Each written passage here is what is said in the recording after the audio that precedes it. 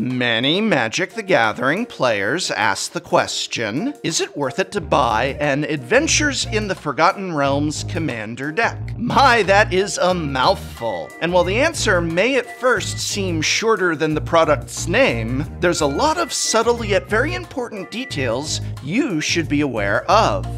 Namely, are these commander decks even close in power and value to the recent heavy hitters of the Strixhaven commander decks, or do they fall more in the realm of the Planeswalker decks like Kaldheim and Commander Legends? With all these D&D mechanics, do these decks still work as ideal entryways for players new to Commander? What about players new to Magic altogether? And if so, are there many reprints and new designs that established players players, such as ourselves, will want to pick up. Finally, how fun are these to play? Yeah, you can play with these, right? All those questions and more are what's in store, so let's take a look. An Adventures in the Forgotten Realms commander deck contains the following.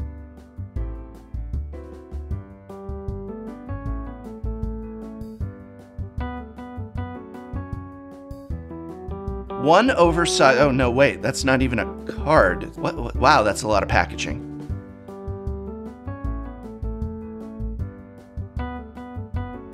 I, a, a little box. That's all we need is this little box. A life wheel counter. Ah, what is this? You got, you got a strategy insert here. Ugh, so much packaging.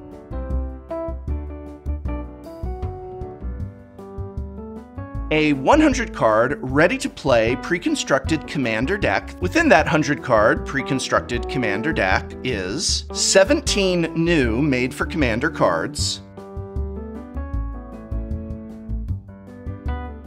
one thick cardboard foil card of your commander. This is what's replaced the oversized cards. Still not sure how I feel about these and two foil magic cards. Foils appear fairly flat out of the box, so problems of the past, such as we experienced with Kess, do not immediately appear evident. And of course, 10 double sided tokens, with everything from creature types appropriate to the deck, treasures, and even dungeon layouts included. However, there is no d20. I don't really know that there should be. Maybe instead of the cardboard life wheel. Yeah, that's what they should have done. Average market price is $39.99. Over the last year, Wizards of the Coast has released two different category or types of commander decks. The higher end ones, such as we saw in Strixhaven, which themselves are on par with the power level and overall quality of the yearly Commander precons such as Commander 2016, Commander 2017, and so on, and cost, as these do, $39.99 on average. I mean, they had been $34.99, and before that, $29.99, but you get the idea. Last year also saw a new style introduced, which for simplicity's sake I will describe as lower tier, though that's not completely accurate. These were commander decks that, in many ways, were more akin to being planeswalker decks, or intro packs, perhaps, of the commander world, and were offered at a dramatic reduction of price, costing $19.99 on average, with special deals available to get two for $30 and so on. Now, as I demonstrated in my videos, many of those lower tier commander decks were anything but, with some being absolute blowouts in terms of reprints and gameplay. And while yes, the original designs in them were never quite on the level of Dockside Extortionist or Fierce Guardianship, they had some cool and clever new cards to add to the commander database. I was a huge fan and now they're gone. The question is this since we just had a set of the higher end commander decks in Strixhaven, are these Adventures in the Forgotten Realms decks designed in the style of the lower tier or the higher tier? Having looked them over, playtested, and discussed with several sources, I feel very confident to confirm that yes, these decks are indeed the same higher tier level of design as the Strixhaven decks. Yes, the price is the same, $39.99, but more important to note is that these were developed with the same same kind of team, treatment, and attention as the Strixhaven decks. The largest contrast is that there are only four instead of five, but Wizards has shifted between offering four and five decks in this lineup before. And I do think it is fair to say that while you can play Commander with three to five, or even, gods forbid, six people, the reality is that four player Commander pods really are the ideal, and that's a good number to encourage on WotC's end. But in looking these decks over and in testing them out for the past few weeks, I would say that I don't just think these are on the same level as the Strixhaven Commander decks or even Commander 2019. I think they're superior. Why? First of all, these are possibly some of the best overall mana bases I have ever seen in a Commander Precon. Commander Precons were filled with the worst lands for a Commander deck. Guild Gates, other zero effect or minimal effect tap lands, everything came into play tapped, slowing down games, needing to be upgraded. And here we have a much preferable replacement that includes the Jumpstart Thriving lands, which I hope are the new bottom of the barrel as far as non-basic lands for Commander Precons are concerned. But these mana bases also have bounce lands, the pre-Lorwyn filter lands, the Tango lands from Battle for Zendikar, the Shadow lands from Shadows over Innistrad. Oh yeah, I call them Tango lands and Shadow lands. I'm the biggest Magic the Gathering YouTuber, so if I call them that long enough, maybe it'll stick. I can be difficult like that. I'm Don Draper. But anyway, these mana bases also have the pre-Odyssey fetch lands, which while not as preferable as them having actual fetch lands in them, still means they come with fetch lands. And you know what? I'll take it. They have fetch lands in them. Kind of. Some of them. Slow fetches. Fetch lands. Though them also including the Alara Panoramas, another cool type of fetch land, technically as well as being filled with commander standards like Bojuka Bog, High Market, and thankful mana base reprints like Desert, Double Snap. These are, in my evaluation, possibly the best mana bases of any commander precon. But the mana base is not the only part of these decks that is improved upon, as I think it's quite possibly the best selection of original made for commander cards of just about any commander precon. And the reason I say that is that those cards, while really great, are also not better than some of the previous offerings. And that's what makes them better. You heard me. Made for Commander cards are, to say the least, problematic for the format. While this is an area of great debate within the Commander community, I fall firmly in the camp that cards like Dockside Extortionist, Fierce Guardianship, Hullbreacher, Opposition Agent, Arcane Signet, and yes, even cards like Teferi's Protection, all become more or less must-run cards that go in nearly every deck that shares those colors, and thus lead to more homogenous gameplay and deck building. It also leads to a real feel bad when you feel like, dang, I'm in white, so I guess I gotta buy Teferi's Protection. Can't be in blue without Hullbreacher. Oh goodness, look at the price. All right, I'll buy one. Oh no, it's been banned. Not saying Hullbreacher should not have been banned. I am saying it shouldn't have been made in the first place, but that's another video. But the original cards of these new Commander decks are not universal must-runs. For example, Thorough Investigation is an absolute slam dunk of a card, but it only goes in a very specific type of deck. The majority of white decks don't need to run it, won't feel compelled to run it, shouldn't run it. And outside of the precon, it's more of a fun build-around-me design that encourages different types of decks. Yeah, Ride the Avalanche is a nice toy for Simic value engines, but it's far from must-run. Even Rod of Absorption, which some some have said comes close to being a card that most blue decks might want to check out, but even then, that's just check out, not must include like Fierce Guardianship. And it doesn't have anywhere close to the unquestionably high value of cards like Hullbreacher and Teferi's Protection. But uh-oh, does that mean that the financial value of these is pretty low? Well, we obviously want to look at these decks for their gameplay, which I will in a moment. It is nice to know that we're getting our money's worth, so let's look at the finances. If we were to look at the total value of each deck buying all 100 cards individually on the secondary market, and keeping in mind that these values are as of the day of release, we would need to spend $90.69 to put together Aura of Courage, and $86 even to put together Draconic Rage. Dungeons of Death would cost us $77.50, and Planar Portal $74.09. But of course, out of those 100 cards and out of that money, a lot of it is bulk. Let's cut all the bulk cards at, let's say, 50 cents aside, and then ask how much value is left. So if we're only looking at cards worth 50 cents or more, Planar Portal will have 33 out of its 100 cards worth that, and the total value of those 33 cards is $50.45, still above the average market price of the deck. The most valuable card in the deck is a reprint, Disrupt Decorum, at $7.99 each. Aura of Courage has 39 out of 100 cards worth more than 50 cents each. The total value of these is $78.90. Wow.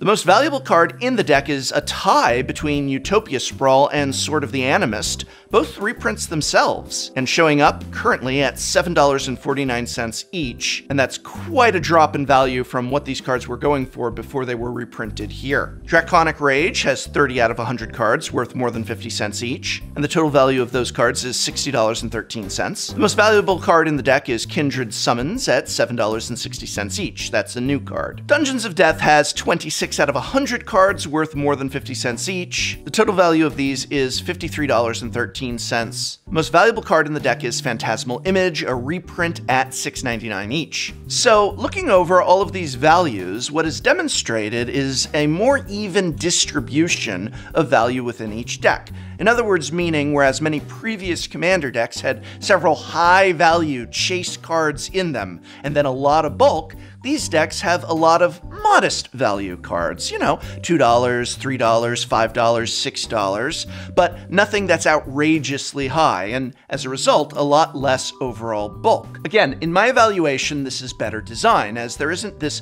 must have card or must have deck that is going to be wanted far and above the others because it's the one with Fierce Guardianship in it, or True Name Nemesis, or any number of examples from the past. Yes, it's true. Aura of Courage has the most value of overall cards in it, but all of these decks make for great gameplay experiences, one that's perfect for players new to the format or just established ones looking for a spare deck or the pieces and parts for a new one.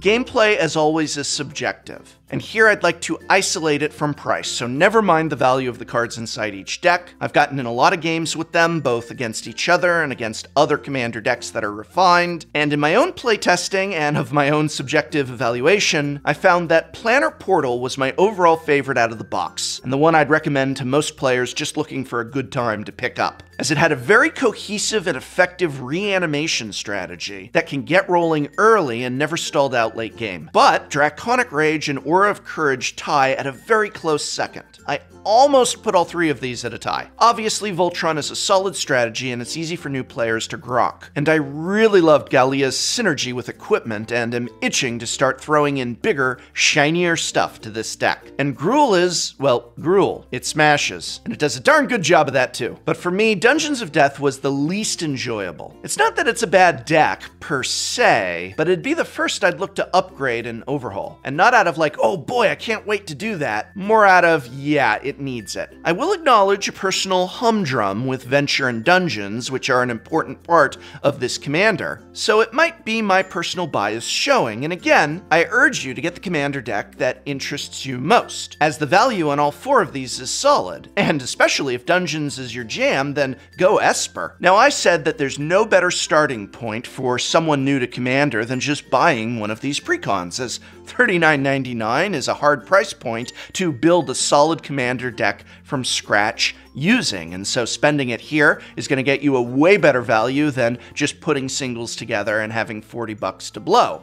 But there is one glaring exception, one better product than these for the new Commander player, potentially significantly better in terms of value and deal that's out there, and it's worth considering. And that product is other Commander precons. That's right, there's so many of these at this point that Commander precons just played themselves. Congratulations. Why pay $39.99 for one of these new Commander decks when myriad online sellers and possibly your local game store, where you should check first, have older Commander precons for $30, $27? and no, these aren't those lower tier ones. And no, it isn't just Ikoria. But there's a lot of extra decks floating around from many, many of the recent sets, all with prices at or below the selling point of the Forgotten Realms decks. Heck, given that we're mere weeks, what, a month, something like that, away from Return to Return to Innistrad, which brings with it its own commander decks, well, when that happens, it's very possible that these commander decks will no longer be $40 and up, but will instead plummet in price like we have seen all the commander decks from these recent sets do. After all, the Magpie's attention is now at the new shiny release, and suddenly we've got commander decks stacking up from Forgotten Realms. So if you're interested in one of these but don't want to pay $40 and up, maybe take a slight risk, though I don't think it's much of one, and wait for Innistrad decks to release, and then see how much Forgotten Realms ones are. It might just be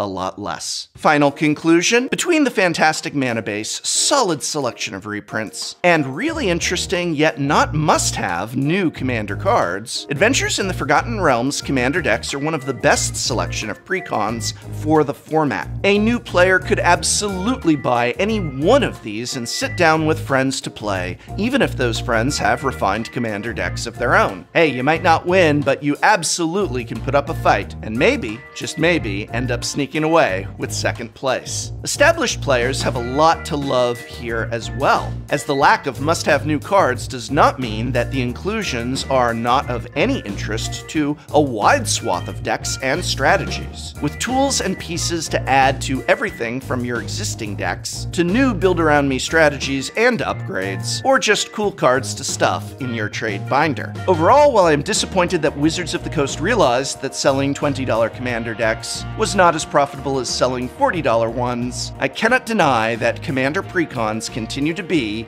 one of the very best pre-constructed products in the game, truly a product for just about everyone, and truly a solid A. Who's ready for Innistrad? What are those commander decks gonna be? Uh, I mean, I hope very much this video has been of some help to you. You can help me out a lot just by remembering to subscribe, hitting the like button, leaving a comment, or especially by sharing this video with a friend. Are you going to pick up any one of these commander decks or perhaps something else with your $40 instead? Let me know in the comments below.